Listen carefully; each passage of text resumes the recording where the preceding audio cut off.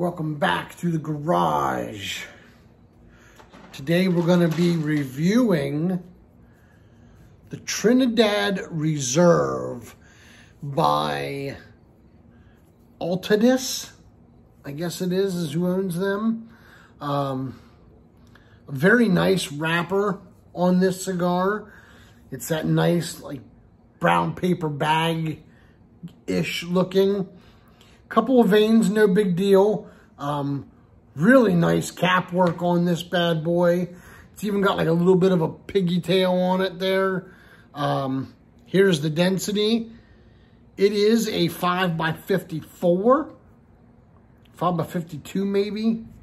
Um, very nice pack. It's solid.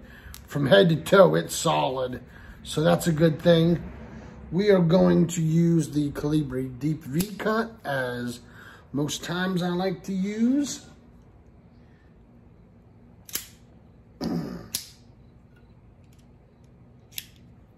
And then we will take a look. Beautiful cut on that bad boy.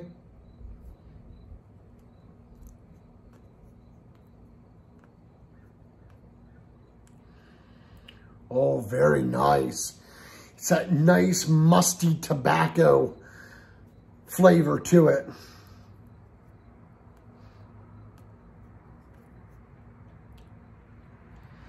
Yeah, I like that. Fantastic. Little backstory on this box. Uh, when Maci had her surgery back in June, my wife decided to find a local cigar shop, which is awesome. And that's where we went. And they had these and they were getting rid of them. And the guy was like, do you like Trinidad? I was like, never had anything really from them. And he's like, well, these here are on clearance. They're not made anymore. They've been dropped and we can't sell them. So I got a box of 10. I think it was 10 for like 40 bucks. 50 bucks is what it came to. Fantastic deal. And I'm glad I bought them. The only regret I have is I should have bought the other box. it was a different Vitola, but I should have bought it anyway. And um, I opened it up right away and smoked one that day at the shop, and I really liked it. But, um, man, oh day, I, I wish I would have bought that other box. I kicked myself in the backside. Any words, we're going to lighter and uh, get after it, and we'll be back in the first third. First third of the Trinidad Reserve. Good draw. Uh, it's a little bit tight, but it's still, it's, it's okay. It's manageable. Smoke output is really good, I have to say. Um, the ash fell off one chunk on my foot. But uh, flavor-wise, we have an old leather that's the star of the show. Then we have a woodsy note that's in there. I'm getting like a caramel note and a touch of saltiness, which is weird. But it, it and the salt isn't there on every draw. Okay, folks. Uh, the salt will pop up now and then just like a little touch. Like somebody put a pinch of a salt and only a portion of the recipe got it and you only get it like every couple bites. It's really odd, but it is moving along quite well. Medium body at best right now at this point. So uh, we're going to keep keep after it, and uh, we'll be back midway. You got anything to add, Mace? No? Okay. She's trying to eat bugs. Welcome back. Mid pardon me, midway on the Trinidad Reserve. Um, still medium body, good smoke output. The only real difference in flavor, you still have the old leather, you still have the uh, woody notes, um,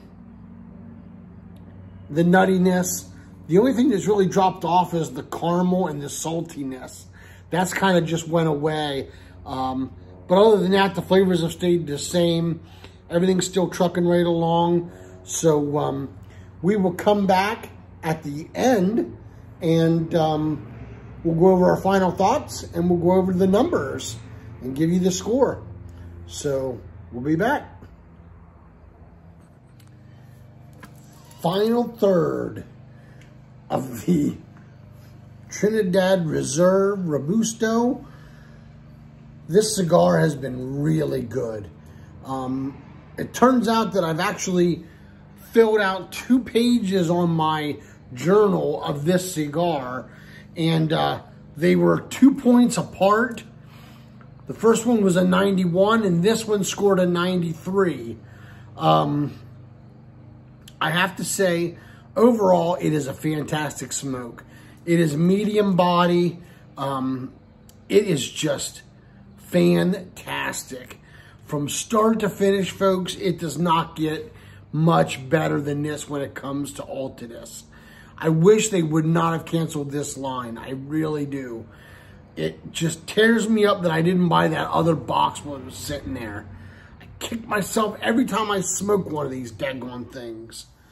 So, flavor-wise, as I'm getting scratched on my belly because somebody wants to join us,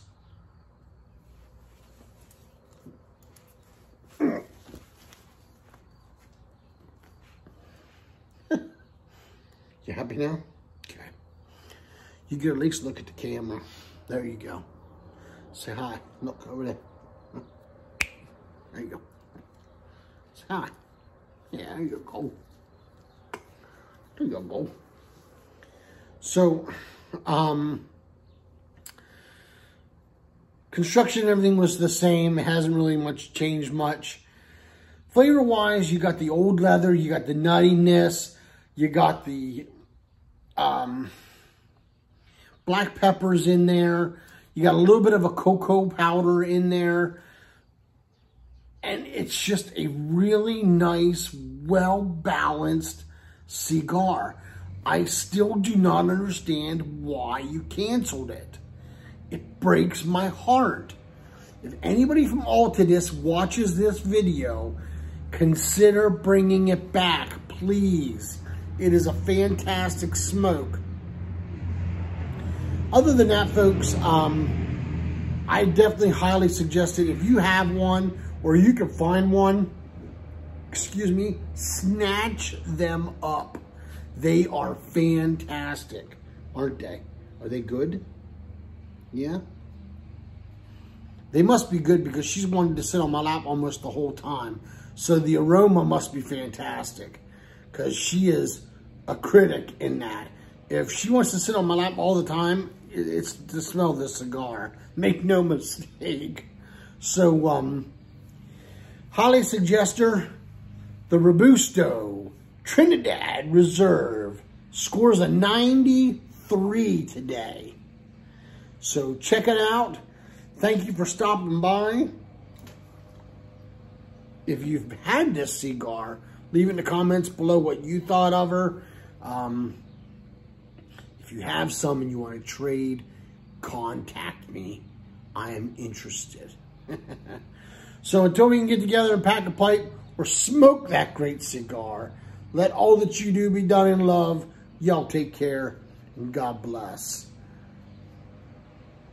She's focusing on a bug and it's not getting close enough for her.